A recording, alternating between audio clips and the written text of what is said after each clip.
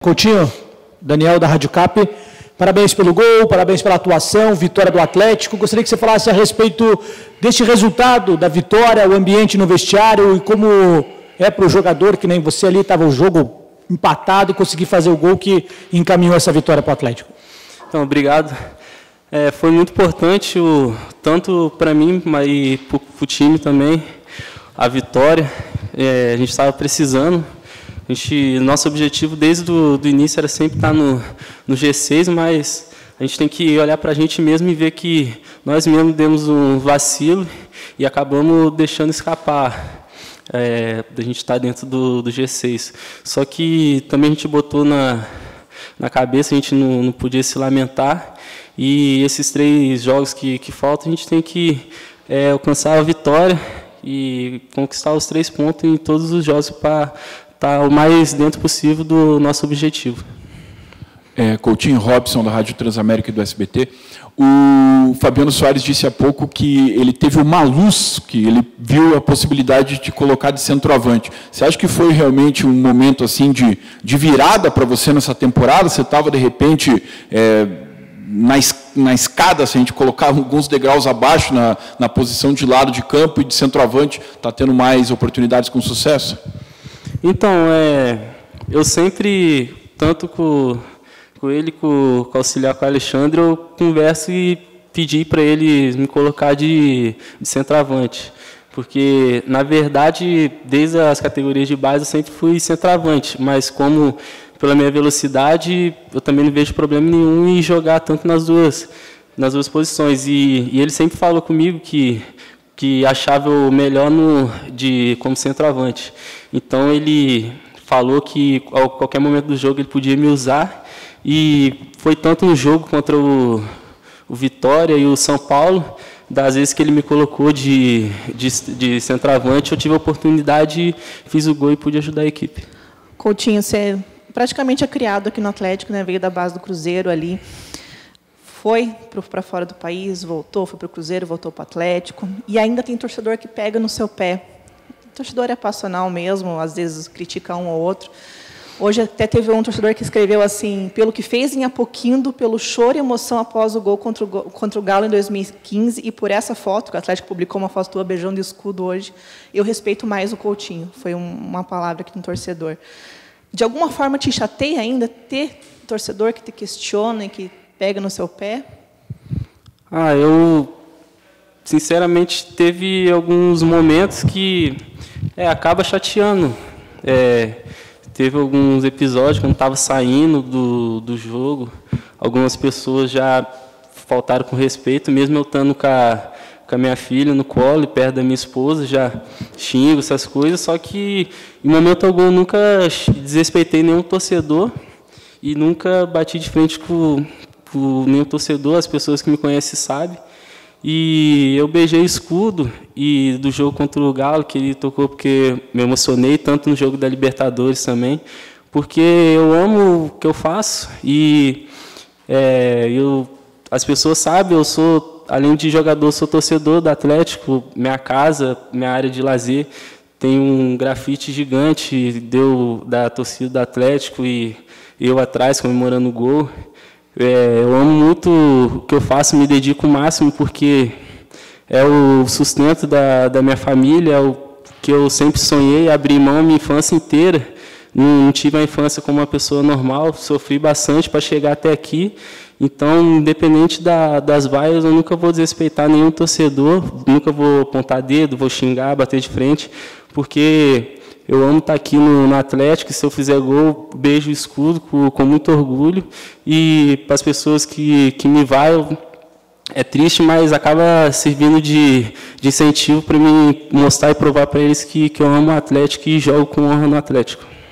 Coutinho, é, faltam dois jogos agora, reta final total do Campeonato Brasileiro. O G7 ficou mais difícil.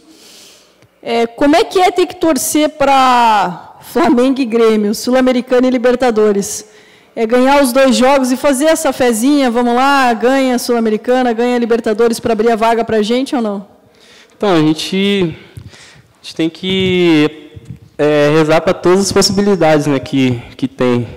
Então, mas primeiramente a gente tem que fazer o nosso papel, que é ganhar esses dois jogos que faltam, porque se a gente acabar vacilando, não vai adiantar nada secar o, o adversário. Mas a gente fazendo o nosso e se a gente tiver a sorte, a gente vai ficar muito feliz em, em estar ali dentro do G6.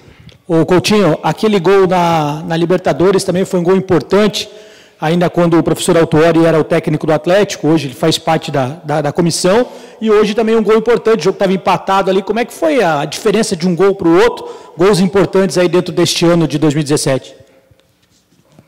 Então, é, foram dois, jogos, dois gols decisivos que acabou ajudando a equipe. E para mim, particularmente, foi muito importante porque pelo momento né, que, que eu estou vivendo. Né? Às vezes, pelo que já foi citado, da, das críticas, mas, tipo, se parar para ver, das oportunidades que, que eu tive, eu aproveitei o máximo. Eu sei que é, eu também não estou no, no, meu melhor, né, pelo que estão acostumados a ver, está sempre marcando gols, mas desses últimos jogos que eu tive a oportunidade, eu me dediquei o máximo, fiz, fiz gols, dei assistência para acabar ajudando a equipe.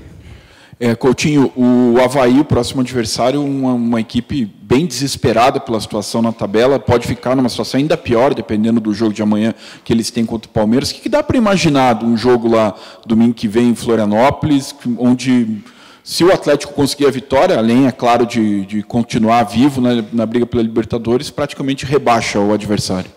Sim, é, eles estão numa situação bastante complicada e eles vão, vão querer vir com tudo e mas o nosso time também a gente sabe do nós temos um objetivo também independente da do, do outro clube que está passando por essa situação é, tem gente que tem que botar na cabeça que o campeonato brasileiro é um campeonato longo não pode deixar para definir na, na, última rodada então a gente tem que aproveitar o, o desespero deles né, teoricamente dizendo para a gente chegar lá e fazer o gol e conquistar nosso objetivo. Coutinho, fazer a mesma pergunta que eu fiz para o Fabrício e para o Fabiano Soares. Hoje o Jonathan ali sentiu para caramba, ficou no sacrifício até o final.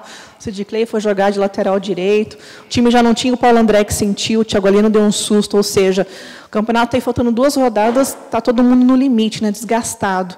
E o Atlético está aí, como nós já falamos aqui, na briga pela Libertadores, ainda sonhando com essa vaga. E o Fabiano Soares falou que agora é a hora do sacrifício. E você é um cara incansável, né? Está sempre correndo, parece que sobra fôlego em você. Como que você analisa essa questão de faltam dois jogos e tem que dar o um máximo e a galera tá, já está desgastada?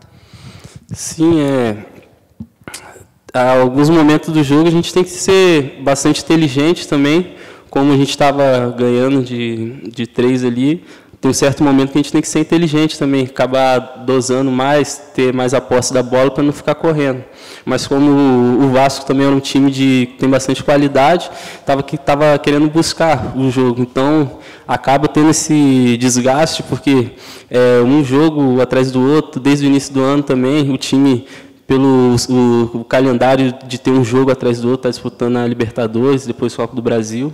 Então isso acabou desgastando bastante os jogadores. E no, no meu caso também, por eu correr bastante ali, acabar ajudando bastante a equipe.